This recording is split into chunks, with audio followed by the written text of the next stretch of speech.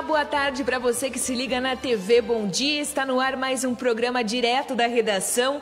Hoje, dia 12 de julho de 2021. E é claro que é sempre muito bom ter a sua companhia na nossa tarde, trazendo informações, horóscopo, entretenimento e também notícia para você que nos acompanha. Boa tarde, Leandro. Quais os destaques boa de hoje? Boa tarde, Ragnara. Nós estamos acompanhando aí o caso do DJ Ives, que está sendo investigado pela polícia após imagens dele aparecerem na internet batendo na ex-mulher. Tá certo, também vamos trazer a previsão do tempo, né, Leandro?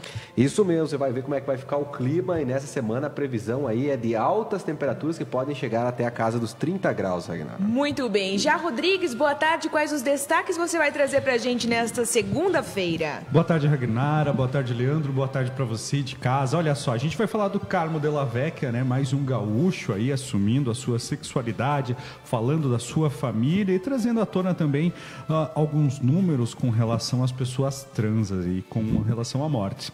Vamos falar também do Luciano Zafir, que apresentou uma pequena melhora. E também, se der um tempinho, a gente fala aqui um pouquinho do Bill Araújo, junto com a dupla Maiara e Maraísa. Traz aqui algumas coisas que talvez a gente não sabia e surgiu aí nas redes sociais, além dos signos, né, Ragui? Tá certo. Lembrando que a sua participação é muito importante. Quero já mandar um abraço para a Loiva Santos, que está nos acompanhando.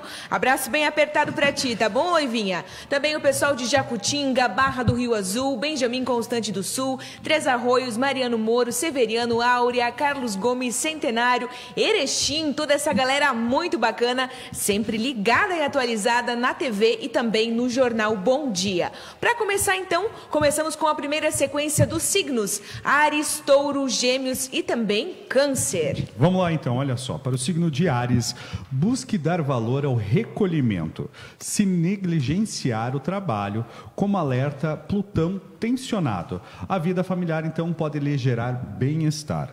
Já no signo de Touro, tente limitar os contatos, as redes virtuais e evitar absorver o drama alheio com alerta atenção à plutoliana. Já no signo de Gêmeos, procure avaliar sua situação financeira e descobrir o que a prejudica. Devido à tensão plutoniana, seu senso prático tende a se elevar. E para o signo de Câncer, o signo do Patrick aqui, é importante se proteger de relações abusivas, hein? O trânsito conjunto da lua nova com o sol pode elevar a sua autoestima.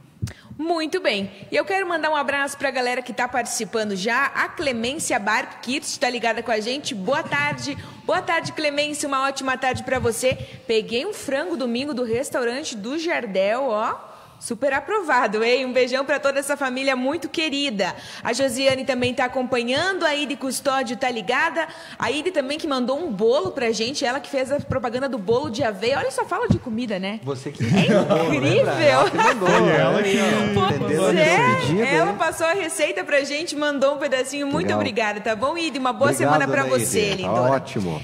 Leandro, vamos falar de coisa séria agora? Vamos, vamos. Todo Conta dia, pra gente. É, todos, quase todos os dias a gente está sempre falando aqui da violência contra a mulher, principalmente agora na pandemia que esses casos aumentaram, né? E a gente vê vários artistas o já sempre comentando, fazem campanhas para que esses casos ah, sejam denunciados, né? Só que um deles se envolveu em um caso de violência que está repercutindo aí mundialmente. É o DJ Ives, é um cantor que estourou aí recentemente, agora nessa, principalmente nessa fase agora da pandemia, com algumas músicas, parcerias, né? E nesse vídeo é mostrado aí ele agredindo a ex-companheira, Pamela Holanda. Ela que divulgou essas imagens na internet que foram feitas por câmeras de segurança instaladas por ela dentro da casa onde os dois moravam, porque ela tinha medo dele. E numa das agressões ele aparece dando um soco na cara dela, né? Então é muito forte a imagem que, que essas imagens estão circulando na internet. O Ives, vendo a situação acontecer, entrou na justiça e pediu que a justiça proibisse a divulgação dessas imagens, né? E a juíza do caso negou esse pedido aos advogados do Ives, dizendo aí que o conteúdo em que ele aparece aí, as imagens não, acabam não interferindo aí a sequência do processo e, portanto, não precisam ser retirados das mídias, né? Porque a mídia está mostrando a verdade, né? O músico também pediu aí que a Pamela fosse proibida de comentar comentar o caso e de dar entrevistas sobre as agressões que ele teria provocado nela. Né? O processo ainda está sendo rolado um processo de calúnia do Ives contra a Pamela. Na decisão, a juíza do caso ainda destaca né, que é impossível analisar um pedido além da concessão de, de tal pretensão deles, negando aí, que a pessoa pudesse impedir alguém de dar entrevista ou dos uhum. vídeos circulassem na imprensa. Ah, esse caso aí do Ives causou uma enorme repercussão também. Inclusive, ele foi demitido da produtora do Chão de Avião, que era, foi por muitos anos é, onde é que ele surgiu ali, ele trabalhou muitos anos ali. Ele foi demitido, a produtora se comunicou, já informando a questão dele. E os vídeos gravados estão sendo investigados pela Polícia Civil. Além do, da mulher, ele teria cometido essa agressão aí, na verdade, ele agrediu a mulher na frente da filha e de outras duas pessoas que viram a agressão na imagem. É possível acompanhar esse caso. É o que eu sempre digo, né, Leandro? Contra fatos não há argumentos, principalmente a imagem aí mostrando, não tem o que possa ser feito, né, com uhum. relação a preservar a imagem, enfim, porque é como as imagens foram divulgadas, as câmeras de segurança estavam registrando, todo mundo viu que sim, que ele é culpado, que ele é covarde e um agressor que merece ser punido. A gente espera que a justiça do Brasil, que é muito falha, né, traga as devidas punições para esse cara não também. Não é porque é cantor, é porque é famoso, Exatamente. o cara pode sair por aí cometendo esse crime. A gente né? sabe que nomes muito mais Verdade. relevantes, como por exemplo o cantor Vitor, da dupla Vitor e Léo. A dupla Vitor e Léo estourou no Brasil inteiro, muitos fãs, e aconteceu um mesmo. Sucesso, é Aconteceu o mesmo. A ex-mulher do Vitor foi a público, relatou que foi empurrada grávida da escada na época, que eu acho que acredito que fazem uns três anos. Uhum. O irmão dele, o próprio Léo Chaves, se separou da dupla, agora é apenas Léo. E acabou a dupla. Por quê? Acabou. Porque esse tipo de pessoa não tem espaço. Muito é, menos no meio artístico, é o que né? a gente fala, né? Esses artistas, eles são um exemplo para quem os seguem, Com né? Com certeza. E, Quantos fãs um se inspiram aí, neles, é, né? Fazer um ato desse é lamentável. Inclusive, o Ives gravou um vídeo agora de manhã na internet, divulgou aí, mas no pronunciamento ele não falou em nenhum momento sobre a agressão, né? Ele só disse que está magoado com o que estão falando, que não é bem assim, mas o vídeo tá prova bom, claramente querido. que ele cometeu Chora, esse boy. crime, né? Uma das e, coisas como, que me né? Que Pode me falar. incomoda nesse vídeo, ao ver esse vídeo é. aí, não, o fato de o um homem estar tá agredindo a mulher, isso a gente sabe que é corriqueiro, isso a gente sabe que acontece no Brasil, mas é o fato dessas duas pessoas que estavam presentes lá não fazerem não, nada. Não fazerem nada. Mas é o que acontece isso é ultimamente. É Alguém vê um acidente, ao invés de ir lá ajudar a pessoa, a pessoa filma. É, é assim que acontece. É, isso Acho que, que tá Se você está vendo isso mundo. em casa, tem um, conhece alguém em casa assim, denuncie, tá ajudem essa pessoa, não deixe isso acontecer. Vá na delegacia, procure a justiça, os casos de violência à mulher estão cada vez aumentando mais agora, de denuncia, né? Denuncia é esse não, caso. Não é Esses normal. caras precisam estar presos aí, quem bate em mulher, né? Não é normal, não é mimimi, é. não é qualquer coisa. A situação aconteceu, acabou a carreira. Ai, coitado, vão acabar com a carreira dele. Vão acabar mesmo. Porque homem covarde, o lugar é atrás das grades. Tem que pagar pelo que fez. Já. Né? Vamos, vamos trazer então um destaque. O que você vai falar do Bill Araújo? Isso? Olha, vamos falar então do Bill Araújo. Conta pra Olha gente. só, gente, para quem não sabe, o Bill Araújo ele foi segurança da Maiara e Maraísa há uns anos atrás, antes Não era da Marília Mendonça? Esse Também. é do Big Brother, né? Esse né? é do Big Brother, também da Marília Mendonça. Hum. Olha só, alguns anos atrás ele foi segurança da Maiara e Maraísa. Ele chegou então a namorar a Maraísa, se não me engano. Só que por algum motivo a Maiara dessa dupla, que são irmãs Gêmeas acabou demitindo ele. Por quê? Porque ele chamava muito mais atenção do que as meninas, né? Então elas tinham que contratar um outro segurança para estar tá junto com elas, mas mais para meio que proteger o Bill Araújo do assédio. Já é igual você ir num casamento mais bonito que a noiva e o noivo, né? É não verdade, dá. Né? não tem como. Foi isso que aconteceu. É, e é bem engraçado esse caso, porque ele foi segurança da, da Mendonça. Como é que é o nome dela? Da Marília, Marília isso. Isso, da Marília Mendonça. E a Marília Mendonça, lá no Altas Horas, estavam junto a Maiara e Maraísa, ela perguntou, ah, por que vocês despediram o Bill? Aí eles contaram esse fato e tal. O Bill chamava muito mais atenção. Foi isso mesmo que aconteceu. Ela tá chegou, certo, inclusive, então. a namorar a Maraísa, né? Por um tempo ali despediu o namorado da irmã. Muito bem.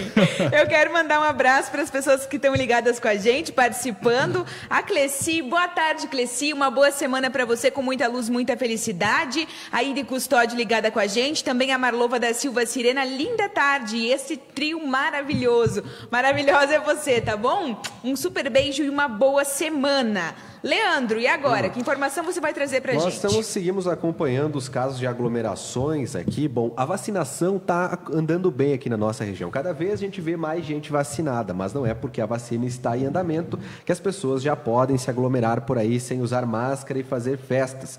A polícia, no fim de semana, terminou com duas grandes aglomerações. Uma em Erebango, 55 pessoas estavam numa casa, num estabelecimento comercial lá na linha Rabelo, no interior do município. E também lá em Erval Grande, dessa vez na área central da cidade, na rua José Bonifácio. 50 pessoas em Erval Grande. Nos dois casos, os proprietários dos locais foram autuados aí, a multidão foi dispensada pela polícia e agora eles vão ter que comparecer à justiça, né? E fica aquela nossa consciência para as pessoas novamente, conscientização para as pessoas novamente não se aglomerarem, né? Que a pandemia ainda está aí.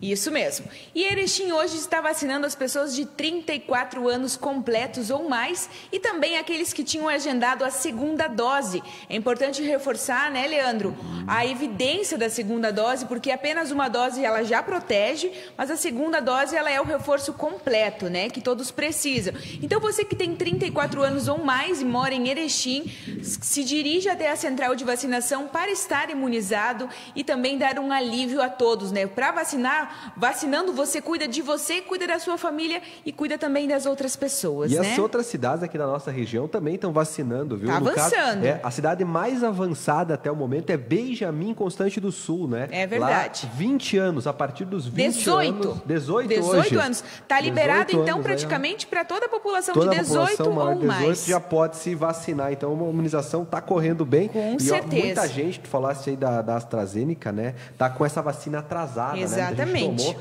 Tem que tomar, viu, gente? Não dá para se assustar por causa daquela história do efeito colateral. É melhor tá bem protegido do que depois ir para a UTI. Né? E sem contar que também está tá sendo feita a vacinação da influenza, né, Leandro? Isso que é a aí. gripe. E muitas pessoas não estão se vacinando. Tanto que nos anos anteriores era demorado para abrir para o público geral e nesse ano os grupos prioritários não compareceram. Então o Ministério da Saúde já abriu para o público geral. Então você que que quer se vacinar, você que quer estar protegido nesse inverno, porque as mudanças de temperatura e amplitude térmica está muito constante, né, É. E é Leandro? a vacina da H1N1, né? Quem lembra, lá em Exatamente.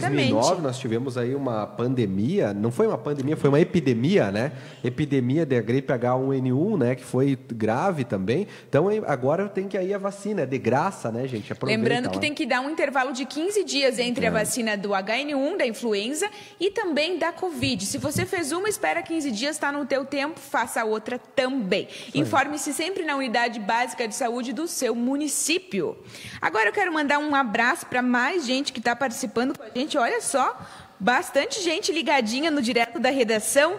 Boa tarde, ótima semana para vocês. A Ivone Fátima participando. Boa tarde, Ivone, uma ótima semana. Também a Vera Lúcia Azevedo. Boa tarde, ótima semana a vocês. Dia lindo hoje, abraço. Dia lindo mesmo, hein, Vera? É pra gente ficar feliz, pra gente ficar animada e encarar mais essa semana que já marca a metade do mês de julho. Também o Sérgio Solange participando. Boa tarde, boa tarde para vocês. Aquele abraço e uma boa semana. A gente dá sequência agora, então, aos signos, falando de Leão, Virgem, Libra e também Escorpião. Vamos lá então, olha só, para o signo de Leão, você se prepara para lidar com mudanças devido a Plutão tensionado. A lua nova na área de crise pode lhe levar a enfrentar os contratempos. Já no signo de Virgem, a vontade de estar, de estar entre amigos pode crescer. É essencial não neg- negligenciar então o isolamento social, né, gente, decorrente da pandemia. Já o signo de Libra, devido a Plutão tensionado, tente não deixar que problemas familiares lhe afetem. A vida profissional pode se mostrar então mais interessante. No signo de Escorpião, busque se esgotar, tentando neutralizar o, negativi- o negativismo alheio, pois Plutão tensiona o setor comunicativo. Tá certo. E eu quero falar para vocês de uma, uma algo que o Senac de Erechim, do Sesc de Erechim, desculpa, bem dizendo, está promovendo, que é a edição do projeto Partiu Natureza, Leandro. Tu Olha gosta de fazer bacana. trilha, esses eventos em meio à Bacana, natureza? Gosto, gosto sim, né? Agora na pandemia tá meio difícil de poder sair, mas é bem bom, né? E você gosta já? Não, eu gosto Não de ficar em casa. gosta? Ah, não. Eu gosto de ficar em Bacana. casa, mas eu, eu gosto de ficar em casa. Mas enfim, brincadeiras, diversão e contato com a natureza natureza. Estas são as principais atrações do Partiu Natureza, evento do Sesc Erechim, que acontecerá no dia 1 de agosto e promoverá um passeio a Itá. O pacote inclui entrada do parque, almoço, tirolesa, arvorismo, ecoparque, funicular, transporte, seguro viagem, camiseta, sacochila, squeeze e garrafinha de água. As inscrições podem ser feitas no Sesc Erechim até o dia 28 de julho. Tu já fez uma matéria na tirolesa, né, Leandro? Já, mas é a tirolesa de Val Grande, do ah, Goiôém, não é a de Itá. É menor, Já. é maior? É a maior, é a maior, é de um quilômetro só. e meio que fica lá na divisa de, de do Goiôém, né? Mas essa de Itá também é, show, é muito boa, é muito bacana essa iniciativa do Sesc aí, principalmente pro pessoal agora, né, que vai poder sair de casa com toda a com segurança. Certeza. E nós temos aí um uma região... ao ar livre é, também, né? Tu, tu os conhece bastante aqui na nossa região, nós temos lugares muito bonitos, né? Aqui, Belíssimos. É, até Machadinho, aquela região de lá, Marcelino Ramos, ali toda a divisa do Uruguai.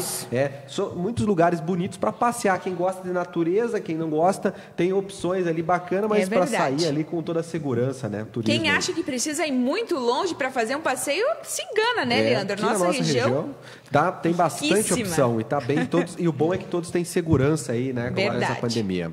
Muito bem. Quero mandar um abraço também para Marinês, que está participando com a gente. Boa tarde, boa tarde, Marinês. Uma boa segunda para você. E a gente vai para a próxima informação. Mas antes eu quero mandar um abraço para a Loiva. Alô, Loiva, tá ligada com a gente? Ô, Loivaninha, um beijo para você. Obrigado pela companhia. Com certeza. Vamos falar agora a previsão do tempo. Patrick, nós temos a imagem aí do dia de agora, nesse momento. Olha o céu, tá bonito esse céu, hein? Já você tá achando o céu azul aí? Você é do Grêmio ou do Inter?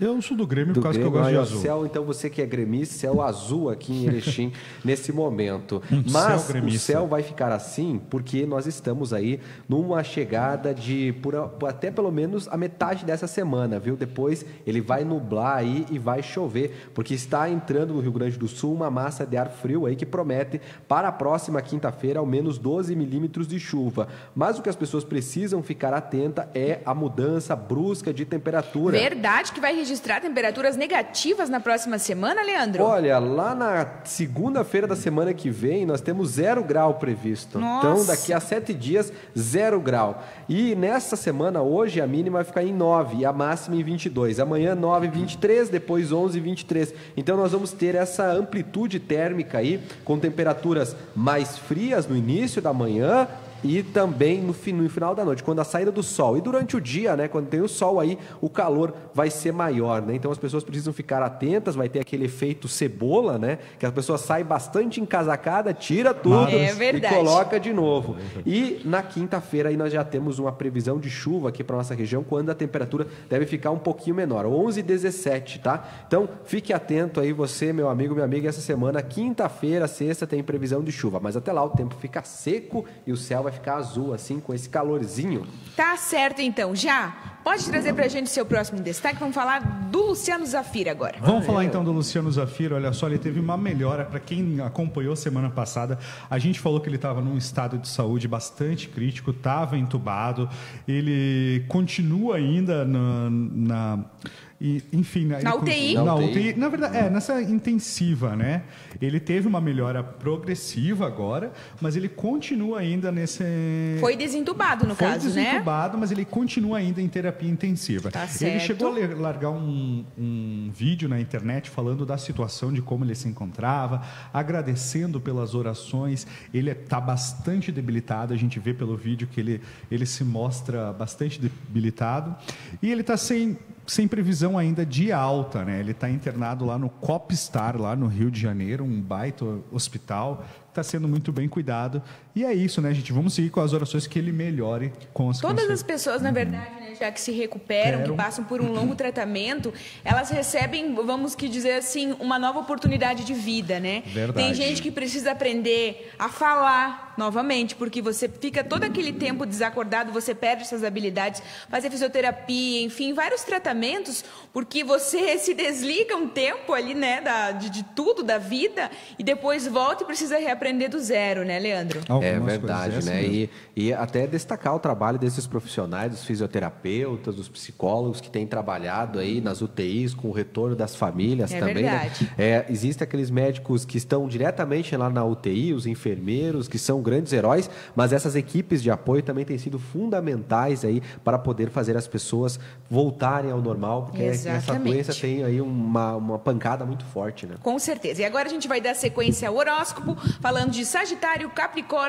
Aquário e Peixes. Vamos lá então, olha só. Para o signo de Sagitário é fundamental cuidar do patrimônio, pois a tensão plutoniana sugere desafios. A lua nova no setor íntimo traz frescor à vida privada. No signo de Capricórnio, busque não deixar de lado sua individualidade. Como alerta, Plutão tensionado avisa, hein? As parcerias então podem se renovar e levar experiências intensas. Já no signo de Aquário, a lua nova tende a lhe fazer sair do, da rotina. Procure agir com senso crítico e cautela devido à tensão plutoniana. No signo de Peixes, procure ser criterioso do ponto de vista social, devido tanto à pandemia quanto à tensão de Plutão. Tá certo, então. Essas foram as previsões dos astros para esta segunda-feira. E atenção, você estudante, pai, tio, responsável. As inscrições para o Enem terminam na quarta-feira. Provas digitais e impressas serão aplicadas em novembro. A gente começou esse ano, Leandro. O Enem, que foi realizado, 2020 foi realizado no ano de 2021, uhum. né? E a gente ficou na dúvida, todos os alunos, enfim, professores, comunidade escolar ficaram na dúvida se ia sair a edição 2021, se seria neste ano atual. E sim, o INEP demorou um pouquinho para se manifestar, mas foram abertas as inscrições para o Enem e até essa quarta-feira, então, elas seguem. Não vai ser prorrogado o prazo. Você que precisa se inscrever, você que conhece alguém que tem a intenção de se inscrever, é até essa quarta-feira. E as provas, então, serão realizadas em novembro, tanto na modalidade digital quanto na modalidade física, né, Leandro? É muito importante que os estudantes que querem cursar um curso superior se inscrevam mais essa oportunidade. É, tá aí essa oportunidade, né, para o pessoal. Se bem que está muito difícil aí essa questão da, das inscrições, é bem difícil, né? Mas as, você tem que tentar, né? Tá aí a oportunidade, né? São, se não me engano, 130 e mil vagas né, disponíveis. Bastante é, vagas então, mesmo. É importante aí o pessoal tentar e quem busca, né? Além das universidades, além dos para as universidades privadas, também daqui a pouco tem as universidades federais, só não estuda quem não quer. Isso fato. mesmo, o pagamento é 85 reais, é um pouco alto, carinho, né? né? Elevado, até para quem solicitou a taxa de isenção, teve algumas pessoas que foram negadas ah. e as coordenadorias regionais se manifestaram neste final de semana falando então que será ressarcido as pessoas que foram negadas a taxa de isenção, né? Porque alguns tinham direito e foi negado injustamente. Já você tem mais uma informação para trazer pra gente? Vamos falar do Carmo Dalla Vecchia, gente, Vamos que falar, ele tá então. super bonitão lá no, na dança dos famosos, na super dança dos famosos, né? O ator de 49 anos, vale lembrar que ele é daqui do Rio Grande do Sul, de uma cidade vizinha aqui de Carazinho, né? Aqui do ele, norte mesmo. Aqui do norte gaúcho mesmo. Olha só, ele é de Carazinho, ele uhum. começou como jogador de vôlei e aí ele foi parar na Globo, foi, fez alguns trabalhos como modelo e hoje ele é ator da Globo, 49 anos ele tem, nem parece, tá na novela Império, nessa reprise da novela Império aí.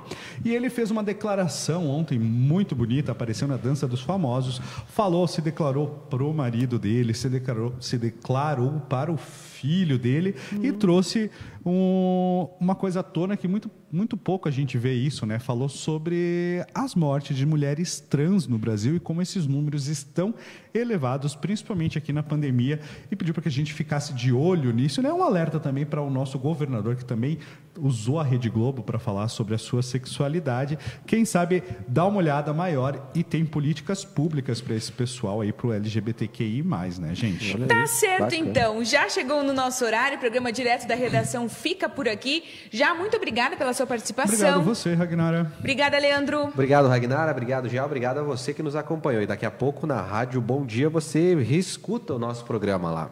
Com certeza, uma ótima semana cheia de luz, cheia de amor e também cheia de positividade. Marca aí no seu relógio, amanhã a partir das duas horas tem mais direto da redação para você. Um abraço e até lá!